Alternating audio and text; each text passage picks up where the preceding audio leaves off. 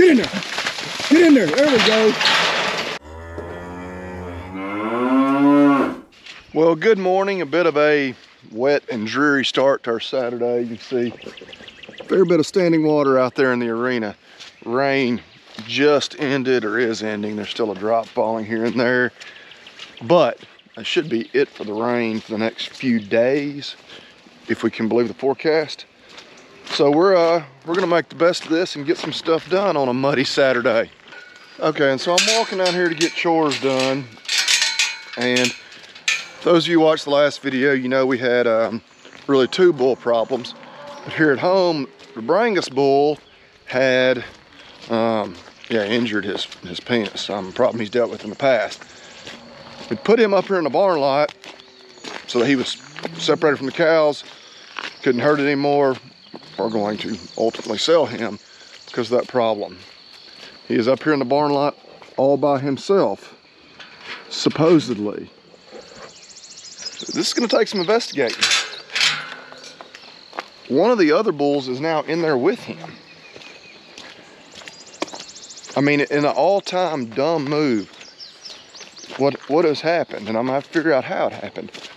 One of the two bulls that was out in the pasture with 40 some odd cows, breeding them, went out of his way to come up here, somehow break into the pen with this bull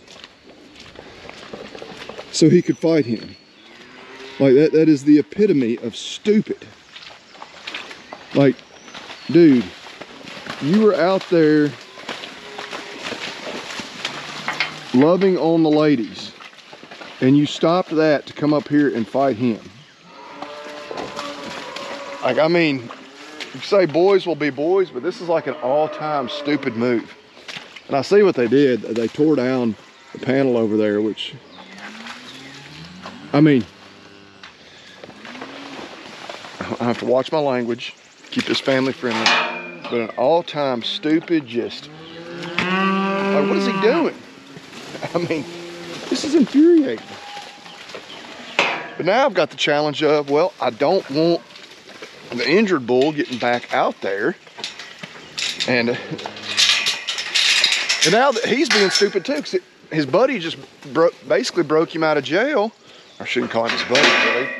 Um, but still, instead of going out there and, and uh, giving the ladies the attention, they'd rather fight each other. Of course, it's muddy. My goodness. Hey, you two. Y'all get in that other pan. Hey, hey, hey. Y'all quit being morons.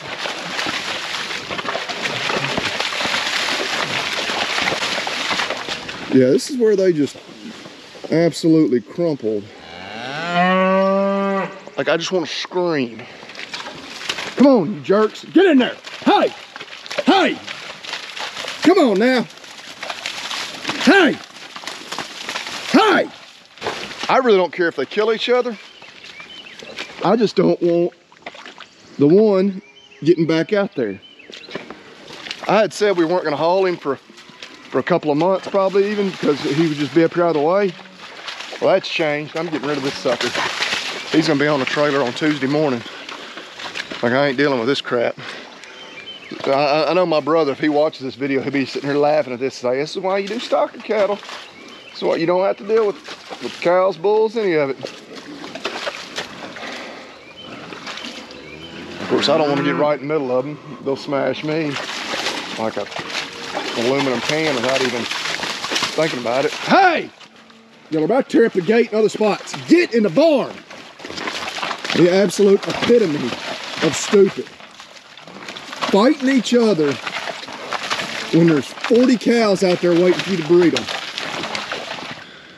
Uh, um, I don't have a handgun on me, but if I did, we might have a dead bull or two right now. Like this is, I'm gonna get irate. Like it, it it's mind-numbingly dumb that this idiot came up here to literally fight this one who, and I know they can't, he can't comprehend, well, that bull, he's up there and he's done. They're gonna sell him. Got mud all over the camera. Say mud. everybody knows there's this isn't all just mud, but God bless. Hi, ha, ha, ha, ha. Get in there. Get in there. There we go. No, no, no, no, no. I don't care if they tear this place all to hell. Like, what are you, are you, so hard for me to keep this language friendly. Are you kidding me? Are you kidding? Like, how stupid is this? I don't know this pin's gonna hold them though. I really need to get them separated. Like, get out of here. You stay there. All right. No, you. What a dumb. You're an idiot. You're a total idiot. You whipped him. Good job. Good job. You proud of yourself?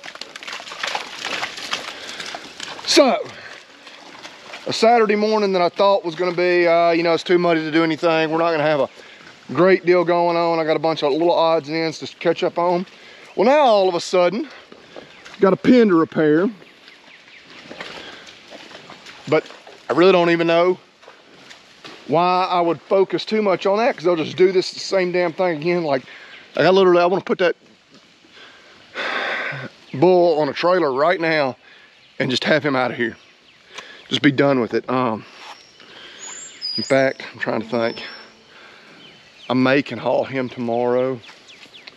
I think they go ahead and receive on Sundays. Um, but just, this is mad as I've been at animals in a long time. All right, so I had a moment to cool down, think about it, and what we're gonna do. We're gonna move all the cow herd, including the two remaining herd bulls. We're gonna go ahead and move them over to the neighbor's place. We've got grass everywhere. We've been blessed with plenty of rainfall. Speaking of which, we got a bunch of water running down through here. I'll go ahead and move them back here to the other pasture. Let me get out of the way so they don't balk. Um, that way, I'm gonna go get some panels, fix that pin. I'm put him back in there and at least reasonably expect that he should stay. Because yeah, I'm afraid now even if I snap my fingers and have it fixed, they'll just do it again. I mean, obviously, um, fool me once, shame on you, fool me twice, shame on me kind of thing. I'd really wanted to leave the cow herd out here in these pastures. Pretty much all the creek bottoms look like this, but they um, they don't really want to be out here anyway. You know, that, that fescue's gotten over mature. I need to get a clipper out here, something terrible. But I mean, as you can see, which I mean, it did just quit raining, but these bottoms, there'll be water standing out here for the next three or four days, um, even though there's no more rain in the forecast. So all this ragweed you see we've got in the pasture, common ragweed, I should say. That was one of my things I was hoping we'd do today, is finally get to spray before this stuff gets away from us. I mean, it, it's getting pretty tall. Um, but it just rained too much. It's gonna be way too muddy to do that. Okay, so ran down the road here to the Gilt Edge Farm. So I knew I had some of these wire panels. Of course, got some tornado damage on top of them, but I need six. There's one, two, three. Of course, we are one short. Um, there are five, but the, I need six to fix both. Spot those bulls tore up this morning and then still need to fix this part over in the horse area. But it's gonna take a, a minute to, to be a plant nerd for you again. I like to do this at least once per video. I talked about the common ragweed there at the house. Um, it's a problem because we got some here and there and whatnot. But then uh, a lot of giant ragweed too. Giant ragweed is actually pretty decent forage. Um, you don't see a lot of it really in pastures typically because they'll eat it out of here. Um, as we look at this pasture, like yeah, it needs to be grazed, clipped, or maybe both. But a lot of ragweed over here. Calves are on the other end of this farm. But when we get them up here, sometime over the next couple of weeks, we'll point out how they'll uh, they'll eat this up. Um, it's actually, yeah, like I say, very palatable, pretty good uh, forage. But well, I'm gonna see if I can get that limb off those wire panels, get them loaded up so we can go home and work on that project. Want to ride down here and check on uh, these heifers. And of course, bull update, well, there's there's the one air quotes, good bull down here. But he's actually a little lame. Um, I don't know that we'll get, be able to get a video of him walking since he's now at the feed bump, but looks like that right foot's a little swollen. He's not terribly lame, I noticed when I pulled up, he was out with all the calves, but he was laid down. And sure enough, once he got up, the more he walked, the better he was on it. But my gosh, that means both bulls on this farm have some degree of an injury. And one of the three at home has an injury. Man, it's just, yeah, I, I don't know what to say. Um, the other thing, the bull down here that, of course, if you watched the last video, we found him. He was kind of laid up, looked like he had been been scraped up around his back end. Probably fighting. I, I really don't know. That's kind of a weird, weird injury. Um, you know, that kind of down his tail head. But I have not seen him since Wednesday. Today is Saturday. Um, so we need to go get eyes on him. I really kind of thought his injuries looked minor enough that by now he, he might be, you know, back with the herd. Well, can't find the bull. Not yet. It's not in the same place he was on Wednesday. Uh, so we're gonna look a few other spots. Um, it's cooler this morning, so you think yeah, he might be venturing out, even if he is still a little injured on his feet, eating, but he's apparently somewhere laid up, which is a little bit annoying. I'd like to find him close by here so that we can go ahead and move on into the next pasture. Because I really don't want to leave him behind. Well, I'm at a loss. Uh, I have not looked everywhere, obviously, because he didn't just disappear. But we can't find the bull. I've been an hour and a half or so we've been walking. I don't know. Um, very frustrating. Um, probably even more frustrating than it is concerning, but concerning as well. Only positive news I have is that the other bull that, of course, we just found had swollen foot, a little sore this morning he was just mounting a heifer. So at least he's still putting in work, but yeah, I just, I can't spend all day down here looking for this bull. Um, one, I'm worn out, and two, I just don't have the time. All right, back home, gonna get this little problem the bulls created fixed. But you can see, I was, I was wrong. There's actually just a half a panel that was missing there, which actually is not missing. It's just all crumpled up. They had pulled this one here off the post, but it's still not significantly damaged. So I really only need to, to replace that one half panel section. Already got one cut. Get it tacked back to these posts, shouldn't take too long. I think he's the instigator. He's over there right now, just talking smack, just, you know, running his mouth, you know, scratching the ground. Of course, the other bulls aren't anywhere around. But the other bull's just stupid. Like, why'd you fall for that? You had all the girls. He's up here, yeah, again, on his way to being hamburger sooner rather than later. Don't worry about him. But I don't know, I guess it could be, probably be a lesson for a lot of people too. We worry about opinions and noise from people that we shouldn't worry about. But anyway, let's get these panels tacked back up here and get some other stuff done. Um, yeah, project is made twice as hard by the fact that it's knee-deep mud. I mean, you can see nearly went up over the high seas there. Um,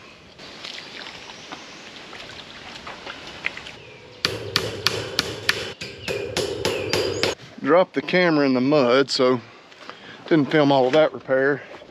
Now, where the that pecan tree came and fell, you got to replace the gate, or the post the gate hangs on. The gate somehow didn't get bent too terribly bad. You got to replace one, two, three, four these wire panels over here. Shouldn't take too long. Let's say we just gotta need to pull what's left of that post up, set the other one, then just attach everything.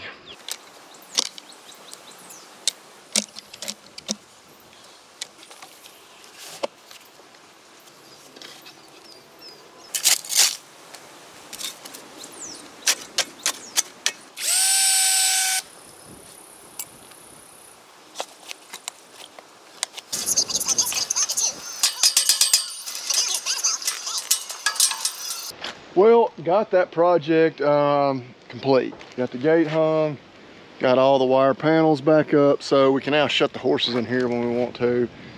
Uh, just, just back to the way it should be. Wasn't a project I planned on getting done today because, again, we were hoping we were gonna get some pasture sprayed and whatnot, and then Of course, the bulls necessitated that we did some fencing down there, so figure why not go ahead and get that off the to-do list. Um, uh, just, it feels like a very unproductive day just because I haven't got anything, well, I'll say that. None of the things I wanted to get done, I've gotten done. Um, gotten some other things done. It's already three o'clock. Day is just flown by. Um, and we still have a few more things we need to do. and before we turn the horses back out, uh, do have blood tubes here. It's the time of year we need to do our Coggins testing. Um, for those of you that have horses, you probably know exactly what that is. Um, for the rest of you, basically every year you're required to test um, any equine that you're selling or showing, or basically if it's leaving your farm, has to have a test to prove that it does not have equine infectious anemia. Um, and that's called a Coggins test. So we're gonna get a blood sample from each of these four, and um, then we'll get those submitted to the lab, and, and that way they'll be good to go for the next year. Molly tends to get the most squirrely when it comes to any kind of needles, so we'll see how this goes.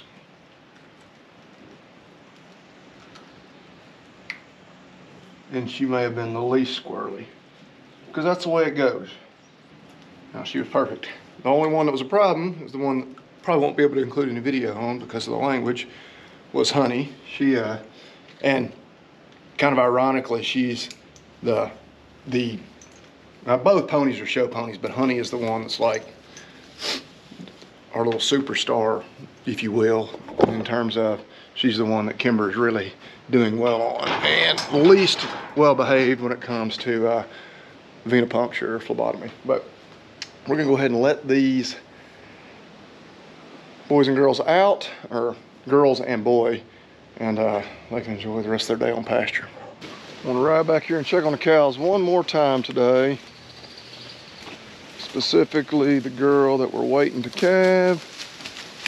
And there's actually two of them, but uh, where is she? That's her right there. Is there. So she has not calved, but I thought there was at least enough of a chance that we ought to check. Um, the other heifer, I don't see her. She, she ran her somewhere. Oh, there she is. She's not quite as close. So, anyway, it's been a day. That's all we can say about today. It has been a day. We uh, started out the day, started out this video. I couldn't believe it. Went out there and where there was supposed to be one bull pinned up, there were two in there. I mean, they must have just gotten into it. Otherwise, they would have ended up back off out in the pasture together. But golly, I got mad. Um, yeah, just one of those days where woke up. Of course, it was raining, and so that really changed our, our possible accomplishments for the day. But we had a to-do list had busted our tail all day long. Um, day's not over yet, but our to-do list has only gotten longer as the day's gone on. But anyway, we got a few things accomplished. Um, I got to go run some errands, um, meet up with a buddy, do, take care of a few other things. So maybe just about it for this video. Tomorrow, we're going to hit it though. I don't know what we're going to do. We may may cut some hay. I'm thinking though, I think they put a little chance of rain in the forecast for Tuesday. So if we cut tomorrow on Sunday, it'd be Wednesday before we baled it. So we may hold off on that, which means we'll probably get some pasture sprayed. Um, they cannot decide. Now they're saying a 20% chance for Tuesday. Earlier it was like 40. We're gonna watch that. That may be a, a morning time decision as to what we do. But we're, tomorrow we're gonna feel confident we're going to be cutting hay or spraying pasture. Um, Probably not both. We won't have time to do all of it. But anyway, we appreciate y'all watching. Um, yeah, check back for that next video. You'll find out what we're going to be doing. Um, let's keep thinking, surely to goodness, we're going to have a end of our spring calving. Um, but yeah, that's one of the cows we bought, and so she clearly wasn't um, as far along bred as, as advertised when we bought her. But anyway, I'm rambling on. You know, that's the end of the video. We've got ribeyes thawed out. I'm gonna throw them on the grill here in a little while. So y'all know what I'm gonna be doing tonight. But y'all do the same. Y'all eat beef and God bless.